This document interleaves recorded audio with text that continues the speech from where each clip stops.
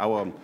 plans for the future are estimates, a little bit speculation, because we do not yet really fully understand the economics of this new new world, yeah, how it works, you know, how much small money is needed, you know, to get the big money, and you know how big money is needed uh, to stimulate the creativity.